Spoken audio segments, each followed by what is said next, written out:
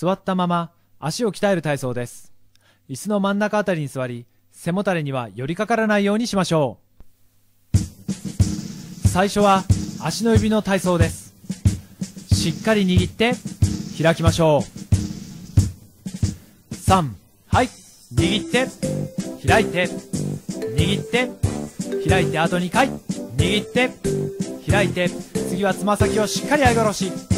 はい、上げて、下ろして、上げて、下ろしてあと2回、上げて、下ろして、次はかかとをしっかり上げ下ろし。はい、上げて、下ろして、上げて、下ろして、上げて、下ろして、上げて、下ろして、次は膝をまっすぐ伸ばして、太ももの前の筋肉を鍛えましょう。左から、はい、左膝伸ばして、足先はしっかりと天井に向けて、背もたれには寄りかからないようにしましょう。はい、今度は右膝伸ばして、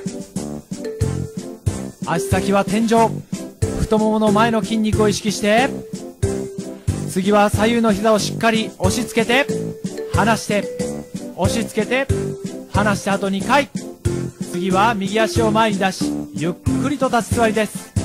はい、立って、座って、立って、座って、はい、足を入れ替えて、立って、座って、立って、座って、次は太ももの付け根の筋肉を鍛えます。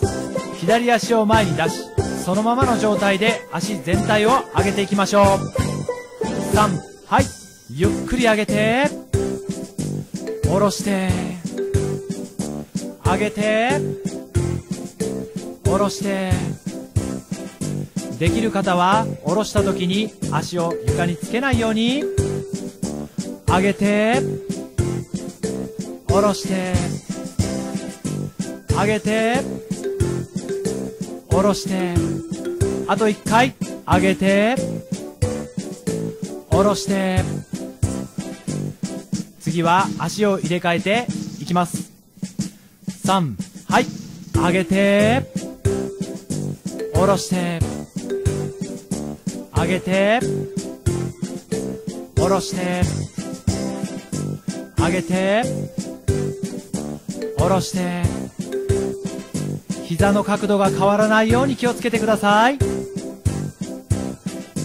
上げて、下ろして、あと1回、上げて、下ろしたら右足前のまま立ち座り、立って、座って、立って、座って、足を入れ替えて、立って、座って、立って、座って、次は尿漏れ予防の体操です。